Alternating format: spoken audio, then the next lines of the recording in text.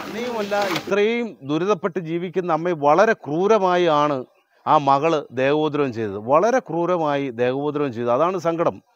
ഇന്നിച്ച് നിൽക്കാൻ പോലും കഴിവില്ലാത്ത രീതിയിൽ ഇരിക്കുന്ന കൈയും കാലും എല്ലാം മുറിവാണ്.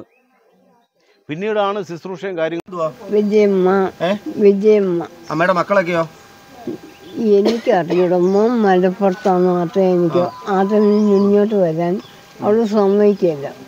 അവളെ നല്ല വിളിയാ വിളിക്കുക എനിക്ക് ആരോടും അത് പറയാൻ വയ്യ. വേടാ നിന്റെ അമ്മയും വേണേ കൊണ്ടിട്ടു അതുവരെ ഒന്നും ചെയ്തിട്ട് അവൾ പറയും ഇവൻ പറയും എന്റെ അമ്മയൊന്നും ചെയ്ത് ഞാൻ നോക്കിക്കോളാം നോക്കിയാണ്. അവളെ പിൻ അവളെന്ത് ചെയ്യും? പിന്നെന്ത് ചെയ്യുന്നു? എനിക്കറിഞ്ഞുകൂടാ അവനോട്. മക്കളുടെ പേര് പറഞ്ഞു? ജഗൻ. ഒന്ന് ജമ്മി ജമ്മ ശ്രീരശ്മി. അമ്മ അമ്മയുടെ മക്കളെ എത്ര ദിവസമായി? എനിക്കറിഞ്ഞൂടാ കുഞ്ഞ്. അമ്മ ഈ- വീട്ടിലേ. ഭക്ഷണമൊക്കെ കഴിക്കാതാണോ കുറെ നാൾ ഇവിടെ കിടന്നത്? അല്ല ഇവിടെ എനിക്ക് എല്ലാരും കൊണ്ടുതരും നാട്ടുകാരില്ലേ കൊണ്ടുതരുന്നത് മക്കളുമാരും തിരിഞ്ഞു നോക്കിയിട്ടില്ലല്ലോ? മോനും തന്നിട്ടില്ല. അവനൊന്നും ചെയ്തിട്ടില്ല. ഉപദ്രവിക്കത്തില്ലേ അവനൊന്നും ചെയ്തിട്ടില്ല. അവനല്ല മകൾ മകൾ ഇങ്ങനെ കാലിലൊക്കെ പിടിക്കുമ്പം എടുക്കാന്നെങ്കിൽ കാലിങ്ങോട്ട് പോയി എന്നും പറഞ്ഞ് കാലിന്റെ വണ്ണക്കടിക്കുമായിരുന്നു അടിക്കുമായിരുന്നു തലയ്ക്ക് അടിച്ചിട്ടില്ല. ആ തലയ്ക്ക് അടിച്ചിട്ടില്ല. സജിത്തോ ഇല്ല മോനെ അവൻ അടിച്ചിട്ടില്ല. അവൻ ഒരിക്കലും എന്റെ തലയ്ക്കോ എന്റെ മേത്തോ അടിച്ചിട്ടില്ല. ഇവളും ഉപദ്രവിക്കും. അല്ല? മറ്റു മോൾ മകൻ അവൻ അവനൊന്നും ചെയ്തിട്ടില്ല. മകനും ഒന്നും ചെയ്തിട്ടില്ല. ചെയ്യാൻ അവൻ വരുന്നില്ലല്ലോ ഇവിടെ. അവിടെ കയറാത്ത അവൾ സമ്മതിക്കുകയല്ല. അതേ ഉള്ളൂ. ഇല്ല. ആ. എനിക്ക് രണ്ട് മക്കളുണ്ടല്ലോ. ഓക്കെ അല്ല അവൻ അവരുടെ കൂടെ പോകത്തില്ല അവരുടെ കൂടെ ഒരു എന്റെ ജീവിതത്തിൽ ഞാൻ അവിടെ കൂടെ പോവുകയില്ല. മകന് വയ്യ എന്നുണ്ടെങ്കിൽ നിമിഷം ഞാൻ പോകാൻ തയ്യാറായി. എവിടെ വേണേലും അവൻ എന്നെ ഉപേക്ഷിക്കണം. ഞാൻ പോവാന്ന് പറഞ്ഞ ആ നിമിഷം ഞാൻ പോകും മേലിലെ പഞ്ചായത്തിലെ മേലിലെ നോർത്ത് വാർഡ് വാർഡിലെ ലക്ഷ്മി വിലാസം വീട്ടിലെ വിജയമ്മ എന്ന അമ്മയാണ് ഇത്. ഈ അമ്മയെ ഇപ്പോൾ ഒരു മാസമായിട്ട് മോൾ പൂട്ടിയിട്ടിട്ട് പോയതാണ്. അമ്മയ്ക്ക് ആഹാരം ഒന്നും കിട്ടാതെ അമ്മ ഇവിടെ കിടന്ന് വിളിച്ചു പോയി അങ്ങനെ നമ്മൾ അയൽവക്കത്തുള്ളവരൊക്കെ കേട്ടു. അങ്ങനെ ഞങ്ങളെ അറിയിക്കുകയും ഞങ്ങളും അയൽവക്കത്തുള്ളവരും ആശാ ആശാവർക്കറും അംഗൻവാടി ടീച്ചറും എല്ലാവരും കൂടെ വന്നു. അപ്പോൾ നമ്മൾ ഇപ്പോൾ ആഹാരം കൊണ്ട് കൊടുക്കുന്നു. നമ്മൾ വൃത്തിയാക്കി. ഒരു പതിനൊന്ന് ദിവസമായി നമ്മളെ അറിയിച്ച നമ്മളെ അറിഞ്ഞു കഴിഞ്ഞപ്പോൾ. അപ്പോൾ ആ സമയത്ത് ഇവിടെ ഇടയ്ക്ക് ആരോ ഒന്ന് ആഹാരം കൊണ്ടുവന്ന് കൊടുത്തൊന്ന് നമ്മളൊന്ന് അറിഞ്ഞായിരുന്നു. പിന്നെ മോൾ ഇടയ്ക്ക് വരും പോയി പോവും അങ്ങനെ വന്നുകൊണ്ടൊക്കെയാണ് ഇരുന്നത്. മോൾ നമ്മുടെ മെല്ല പഞ്ചായത്തിലെ ഹരിതകർമ്മ സേനയിൽ വർക്ക് ചെയ്തുകൊണ്ടിരുന്നതാണ് അവിടെയും പ്രശ്നങ്ങൾ ഉണ്ടായത് കാരണം നമ്മൾ അവിടെ നിന്ന് മാറ്റി. ഇപ്പം മോൾ വരാറായിട്ട് ഇപ്പം പതിനെട്ട് ഇരുപത് ദിവസത്തോളമായി. വിളിച്ചപ്പോൾ അവൾ പറ്റത്തില്ല നോക്കാൻ കഴിയത്തില്ല എന്നൊക്കെയാണ് അംഗൻവാടി ടീച്ചറെടുത്ത് പറഞ്ഞത് നമ്മൾ അറിഞ്ഞു. മകൾക്ക് ജോലിയൊന്നുമില്ല. മകൾ ഇപ്പം രണ്ടാമത് വിവാഹം കഴിഞ്ഞ് അദ്ദേഹത്തിന്റെ കൂടാണെന്ന് പറയുന്നു. പിന്നെ മോനുമായിട്ട് ബന്ധപ്പെട്ടു. മോനും വരാൻ സാധിക്കില്ല എന്നാണ് പറഞ്ഞത്. ശ്രീജ എന്നാണ്. ഞങ്ങളുടെ എന്റെ കുടുംബശ്രീയിലെ ഒരു മെമ്പറാണ് ഈ വിജയമ്മ എന്ന് പറഞ്ഞ അമ്മയും ഈ ശ്രീരശ്മി എന്ന്. അതായത് വിജയമ്മയുടെ മകളാണ്. വിജയമ്മ എന്ന് പറയുന്ന അമ്മയുടെ മകളാണ് ഈ ശ്രീരശ്മി എന്ന് പറയുന്നത്. പക്ഷേ ഒരു കഴിഞ്ഞ ഒരു ആഗസ്റ്റ് മാസത്തോടു കൂടിയാണെന്ന് തോന്നി ഈ അമ്മയ്ക്ക് സ്ട്രോക്ക് വന്ന് അമ്മ മെഡിക്കലി കൊണ്ടുപോകുന്നത്.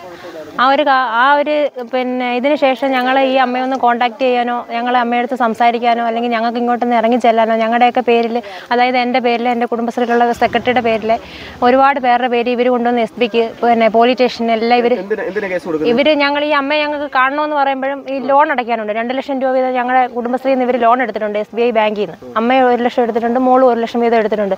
കറക്റ്റായിട്ട് അടച്ചുകൊണ്ടിരിക്കുമായിരുന്നു പക്ഷേ ഈ സജിത്ത് എന്ന് പറഞ്ഞവൻ വന്ന് ഇന്നും ഇവിടെ കൂടെ കൂടിയോ? അതിനുശേഷം ഇവൾ ഈ ലോൺ അടയ്ക്കത്തില്ല. ഒരു തവണ മാത്രമേ ലോൺ അടച്ചിട്ടുള്ളൂ. ഇവനെ ഞങ്ങൾ വിളിക്കുമ്പോൾ ഇവൻ ഞങ്ങളെ ഭീഷണിപ്പെടുത്തി സംസാരിക്കുകയും എടുക്കുകയും ഭീഷണിപ്പെടുത്തി ഞങ്ങളെ സംസാരിക്കുകയും എടുക്കുകയും ഇവനൊരു ഗുണ്ടയാണെന്നാണ് ഞങ്ങൾക്ക് ഞങ്ങൾ അന്വേഷിച്ചപ്പോൾ അറിയാൻ കഴിഞ്ഞത്. ഇവളെ കൊണ്ടുപോയിട്ട് ഇനി അവിടെ എന്ത് ചെയ്യുവാണോ എങ്ങനാണോ എന്ന് ഞങ്ങൾക്ക് ആർക്കും അറിയത്തില്ല. ഇവളെ ഈ കല്യാണത്തിന്റെ പിറ്റേന്ന് തൊട്ട് ഇവളെ ഈ നാട്ടുകാരിൽ നിന്ന് അകറ്റി നിർത്തിയേക്കുക ഇപ്പൊ ഈ ഈ അമ്മയെ ബന്ധപ്പെട്ടുള്ള വിശദാംശങ്ങൾ കൃത്യമായി ഇവിടെ പറഞ്ഞിട്ടുണ്ട്. ഇവിടെ ഈ ഈ അമ്മയ്ക്ക് രണ്ട് മക്കളാണ്. ഒരു മോനും ഒരു മോളും. ഈ മകൻ ഒരു എട്ട് വർഷങ്ങൾക്ക് മുൻപേ ഇവിടുന്ന് നാട് വിട്ട് പോയിട്ടുള്ളതാണ്. ഈ അമ്മയുടെ കാര്യങ്ങളൊന്നും മകന് നോ ഇപ്പം അങ്ങനെ വന്ന് നോക്കാൻ കഴിയുന്നില്ല. ഈ മകളായിരുന്നു അമ്മയുടെ കൂടെ ഉണ്ടായിരുന്നത്. കുറേ അനേകം വസ്തുക്കളും മറ്റു കാര്യങ്ങളൊക്കെ ഉള്ളൊരമ്മയായിരുന്നു അപ്പോൾ ഈ കഴിഞ്ഞിട കൊണ്ട് ഈ മകൾ വേറെ ഒരു വിവാഹം കഴിക്കുകയും. അപ്പം വിവാഹം കഴിഞ്ഞതിന് ശേഷം ഈ അമ്മയെ കൂടെ കൂടെ വന്ന് ഇങ്ങനെ നോക്കുകയും അതിനുശേഷം അങ്ങ് പോവുകയൊക്കെ ചെയ്യും. അപ്പോൾ സ്വാഭാവികമായിട്ട് ഞങ്ങളെല്ലാം കരുതി ഞങ്ങളെല്ലാം വാർഡ് മെമ്പറും ഞാൻ മുൻ വാർഡ് മെമ്പറാണ്. ഞങ്ങളെല്ലാം എപ്പോഴും ഈ പ്രദേശത്ത് വരുന്നവരാണ്. ഈ അമ്മയെ കാണുകയും ഈ വീടുമായിട്ട് സഹകരിക്കുകയോ ചെയ്യുന്നവരാണ്. പക്ഷേ ഇങ്ങനെ പൂട്ടിയിട്ടിട്ട് പോകുന്നു എന്നുള്ള കാര്യം ഞങ്ങൾ ഞങ്ങൾക്ക് അറിയത്തില്ലായിരുന്നു. അപ്പോൾ ഈ അടുത്ത ഒരു പതിനഞ്ച് ഇരുപത് ദിവസം ഒക്കെ ഇങ്ങനെ പൂട്ടിയിട്ടിട്ട് പോകുന്ന അറിഞ്ഞത് ഈ അടുത്തിടയ്ക്കാണ്. കോഴിക്കോട് പോലീസിൽ നിയമപരമായിട്ട് ഇവർക്കെതിരെ നടപടിയെടുക്കണമെന്ന് കാണിച്ചുകൊണ്ട് വാർഡ് മെമ്പറുടെ ലെറ്റർ പാഡിൽ കുന്നിക്കോട് പോലീസിൽ പരാതി കൊടുക്കുകയും അതുപോലെ ഹെൽത്ത് ഡിപ്പാർട്ട്മെന്റുമായിട്ട് ഹെൽത്ത് ഇൻസ്പെക്ടറെ വിവരം അറിയിക്കുകയും അവിടുത്തെ ഡോക്ടറെ അറിയിക്കുകയും സാമൂഹ്യക്ഷേമ വകുപ്പുമായി ബന്ധപ്പെടുകയും സി ഡി പി ബന്ധപ്പെടുകയും ഒക്കെ ചെയ്തു. അപ്പം കഴിഞ്ഞ തിങ്കളാഴ്ച ചൊവ്വാഴ്ചയാണ് നമ്മൾ ഹെൽത്തിൽ നിന്ന് എല്ലാവരും വരും. രശ്മി ഇവിടെ വരണമെന്ന് ഞാൻ പറഞ്ഞപ്പോൾ എന്നോട് പറഞ്ഞ് ഞാൻ വരാൻ ചേച്ചി എന്ത് വേണമെങ്കിലും ചെയ്തു തരാമെന്ന് പറഞ്ഞ ആൾ ചൊവ്വാഴ്ച ദിവസം ഫോൺ ഓഫാക്കി അങ്ങ് വെച്ചു. ചൊവ്വാഴ്ച വരെ തിങ്കളാഴ്ച രാത്രി വരെ എന്നെ വിളിക്കുകയോ എനിക്ക് മെസ്സേജ് ഇടുകയോ എല്ലാം ചെയ്യുമായിരുന്നു. എന്തോ ഉണ്ടെങ്കിലും പറയാമെന്നൊക്കെ പറഞ്ഞിട്ട് ഞാൻ പറഞ്ഞു രശ്മി ഇവിടെ വരണം നാളെ ആളുകളൊക്കെ വരുന്നുണ്ട്. നിങ്ങളുടെ അമ്മയുടെ അവസ്ഥ വല്ലാത്തയാന്ന് പറഞ്ഞപ്പം എന്നോട് പറഞ്ഞു അമ്മയ്ക്ക് അതല്ല ചേച്ചി വരണ്ടേന്ന് എന്നോട് പറഞ്ഞത് അപ്പോൾ അതുകൊണ്ട് അത് കഴിഞ്ഞിട്ട് ചൊവ്വാഴ്ച ദിവസം തൊട്ട് പുള്ളിക്കാർ ഫോൺ എടുക്കത്തില്ല. എന്നിട്ട് മരുമകൻ അയച്ച മെസ്സേജ് ഇതിനകത്ത് കിടപ്പുണ്ട്. അവർക്ക് മക്കൾക്കും മരുമക്കൾക്കും ഇല്ലാത്തത് എണ്ണ ഒന്നും നാട്ടുകാർക്ക് വേണ്ടെന്നാ എനിക്ക് വോയിസ് ഇട്ടത് ഇതിനകത്ത് കിടപ്പുണ്ട്. ആ അതെ. അച്ചൻകോൽ അവിടെ ഉണ്ട്. ഭർത്താവ് അവിടെയാണ് ജോലി ചെയ്യുന്നത് അമ്പലത്തിലെ കഴിവാണ്. സജിത്ത്. അവൻ അവനാണ് ചേച്ചിയെ ഉപദ്രവിക്കുകയും കാര്യങ്ങളുമൊക്കെ ചെയ്തത്. ഇന്ന് ഇന്നലെയാണ് ചേച്ചി പറയുന്നത്. അതുവരെ പറഞ്ഞില്ല. ഈ പെണ്ണ് ഉപദ്രവിച്ചു. ഈ ലക്ഷ്മി എന്ന് പറഞ്ഞ കൊച്ചു ചവിട്ടുകയും തൊഴിക്കുകയും കഴുത്തിന് കുത്തിപ്പിടിക്കുകയും ചെയ്ത് കൊല്ലാൻ വേണ്ടി മാത്രം. കാരണം ഇതെടുക്കാൻ. ഇപ്പോഴാണ് ഇതിന്റെ രോഗം പിടുത്തം കിട്ടിയിട്ട് ചെറുക്കൻ വരാമെന്നൊക്കെ പറഞ്ഞത്. കാരണം പുരടം പോകുമല്ലോ എന്ന് വിചാരിച്ച്. ചിലപ്പോൾ ഇത് പോവും സാമൂഹ്യനീതി വകുപ്പും അതേപോലെ ഞങ്ങളും നമ്മുടെ ഡിപ്പാർട്ട്മെന്റും ഞാൻ വനിതാ ശിശു വികസന വകുപ്പിലാണ് പ്രവർത്തിക്കുന്നത് വനിതാ സംരക്ഷണ ഓഫീസറാണ്.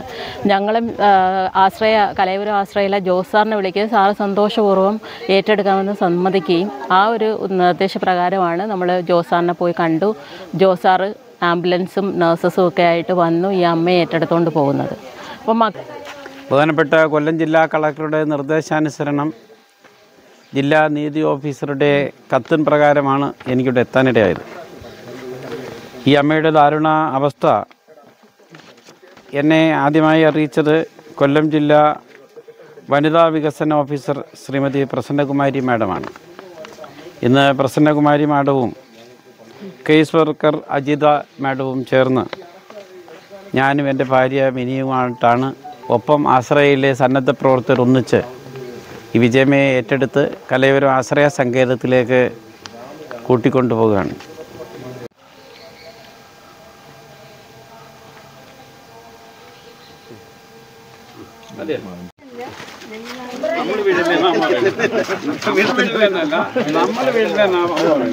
വീട്ടിലമ്മ